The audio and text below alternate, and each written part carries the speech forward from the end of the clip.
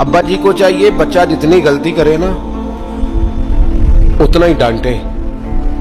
वो फिर छह हफ़्ते ना डांटना शुरू कर दे। उस्ताद साहब को चाहिए कि जितनी बच्चे की कमज़ोरी है ना, मुझे पता है सबसे ज़्यादा किस बात से तकलीफ़ होती है। आपके बच्चे ने गलती की है?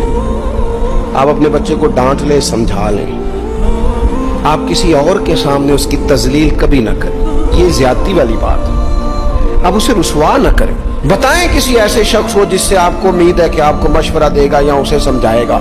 लेकिन गली गली खड़े होकर अपने आप को मजलूम साबित करने के लिए उसकी तोहिन न करें। ये अंदाज दुरुस्त नहीं है। इससे बच्चों की इंसल्ट होती है, वो कमज़ोर पड़ जाते हैं। हर जगह रोना रोना मेरे बच्चे अच्छे नहीं।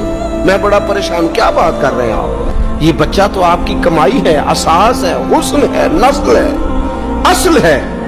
और इस कदर ज़्यादा तकलीफ़ देना। जगह जगह शिकायतें जगह जगह